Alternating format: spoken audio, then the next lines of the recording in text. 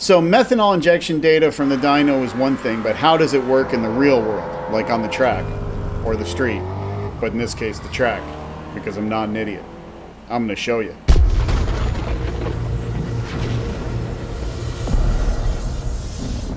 I am going to do a standalone video where I compare methanol injection with air-to-water intercooling, but there is so much data that we got from the meth injection.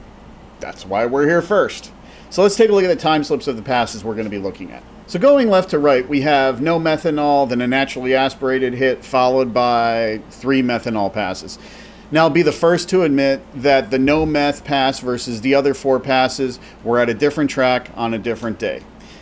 However, I've been racing at these tracks for over 30 years now, and I know their foibles, I know their differences, and the only real difference between these two tracks, which happen to be Mason Dixon and Capital Raceway, by the way, is that the 60 foot numbers from Mason Dixon seem to be a little bit more optimistic than from Capital. I don't think there's any difference in actual 60 foot times. But the ET mile an hour, both in the eighth and the quarter mile, are always pretty much spot on. So let's get back to the time slips. All right, so you can tell right away by looking at the no meth pass and sort of the average of the three meth passes that methanol actually does make the car faster. There's no surprise there. We've already proved that with our dyno testing and the deep dive that we did on all of this. And by the way, I'm using an AEM meth kit. It works really well so far. I've been very happy with it. I chose it because of the spray characteristics of the nozzles because we are spraying methanol right into the volute of the electric supercharger. And that's a whole nother thing that I go into in that dyno deep dive video. I'll put a link up in the corner. I get corner, this corner, this corner, one of one of these corners, whatever. So check that video out if you want more data on those things. Looking back at the time slips, we can see that the methanol obviously makes the car faster, about a quarter of a second faster, and about four honest miles an hour faster. At this power level, a quarter second and four miles an hour is at least 50 horsepower. It's probably a lot more than that, more like 60 or 70. You know, the old adage of 10 horsepower for a tenth really only holds true on like the 13 second range ish you know, low 14s, high 12s. That was back in the 90s when that was fast.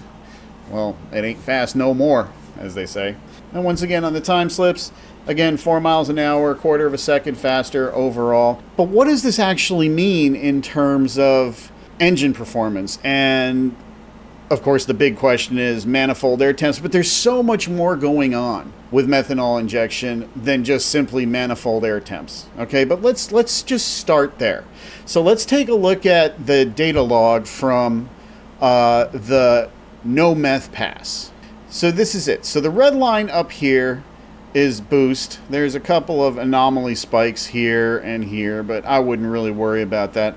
But what we want to look at as far as air temperature is concerned, or manifold air temperature is concerned, is the red line here on the bottom graph. Again, there's like some stray data here. I can only assume that this maybe has to do with EMF from the electric supercharger. I don't know. This is very unusual, but it really didn't change much in terms of how the car ran, or it really wasn't perceptible. So let's take a look at the duration of the pass. The white line, by the way, the white trace up here on the top is RPM. This is when it was sitting on the trans brake right here, and then when the trans when the trans brake was released, that's this flare, and it kind of sits a little bit and then starts pulling up. And let's take a look. So this is a Powerglide. So our fallback went from call it 6,250 RPM down to 5,176 RPM. It's a little over a thousand RPM. That's pretty good for a glide. Uh, however, we only went through the traps at about 58, 5900 RPM, which is a little low for this car. But the red line down here is what we're interested in. So this red line here at the bottom is manifold air temperature, and you can clearly see that under boost without the methanol, man, it was getting hot fast.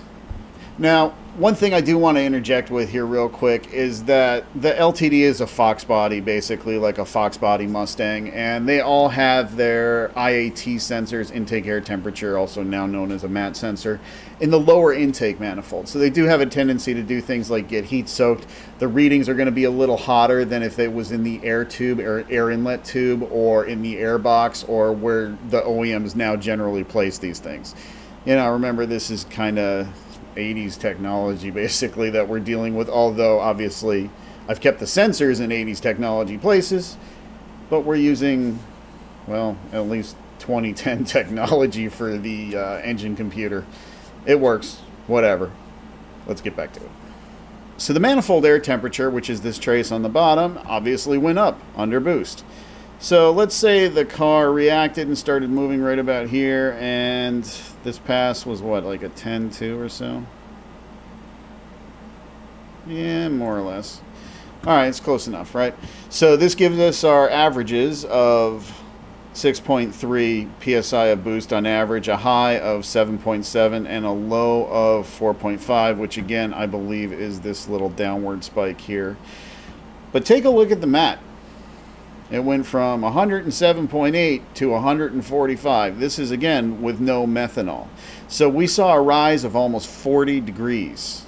That's pretty significant, and an average of 132.6. Let's jump straight to the data log from the first meth pass. So this is fresh in your mind, this particular shape of this curve and these numbers, and you can see a side-by-side -side comparison of the first meth pass. Now, I'm being very specific about the first meth pass simply because, well, the other passes, the methanol behaved a little bit differently, but not much. Again, same deal. This bottom line here is the mat. So if we go here, and this was like a 10-0, I believe. So, yeah. Right about in this ballpark here. So there's your pass. So look at the mat. Huge difference. We start at 108 and go down to 80. Now, this is where I have to stop you all because a million of you right now, well, I hope there's a million of you, are going straight to the comment section and you're going to write this. But methanol sprays on the sensor and makes it cooler. Well, maybe a little bit, but not entirely. You have to remember that the flash point of methanol is like 54 degrees Fahrenheit, whereas the boiling point of water is 212 degrees Fahrenheit. Our intake temps are above the flash point of methanol, but below the boiling point of water. Now, why am I comparing boiling points and flash points? Well, because water doesn't really have a flash point. A flash point is the point where the liquid gives off vapors that could ignite. Okay, that doesn't mean it's the boiling point. The boiling point of methanol is somewhere in the ballpark of 150 degrees Fahrenheit. I don't know right off the top of my head. I'd have to Google it, and I ain't going to do that right now to stop the video so all this fun can stop. No, we're not going to do that. But even so, methanol starts giving off flammable vapors at like 54 degrees Fahrenheit. So it's basically starting to take gaseous form like Wonder Twins, but instead of water, gas, because one of them was always water How many people actually know who the Wonder Twins were? I mean, I don't. Can you even have the show like that anymore? Why am I going down this path? Let's get back to the data logs. So there's really no comparison. Let's chop between this graph and the no meth graph. Meth, no meth. Meth, no meth. You get the point. It definitely works. It definitely cools the charge. But let's take a look at the I don't know. Let's go to the second pass. The second pass, this was a fun pass. Yes, this was the slowest pass. If we look at the time slips, you can tell this is the one where it went 10-1 at 136 even. But this second pass was the most fun simply because Jason sat on the trans brake, as you can see. Look at how it gets, as, as the boost goes up, this red line is boost, you can see this spike start, this spiking starts to get more and more aggressive and then finally it peaks at 10 psi. This is there's a peak of 10 psi right in here, as I shown in the how much boost do electric superchargers make video, which was a couple videos ago.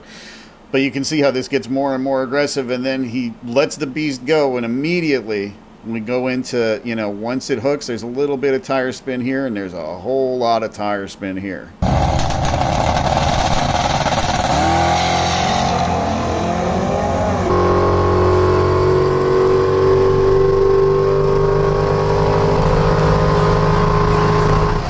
So, made for a fun ride, put up the best mile an hour, which, you know, there's an old saying with drag racers if you're spinning, you ain't winning. And also, if you're spinning, well, your mile an hour is going to go up. That is true, but only minimally so. And we see that here. Once again, looking at the time slips, you can clearly see that just happens to be the highest mile an hour of the day.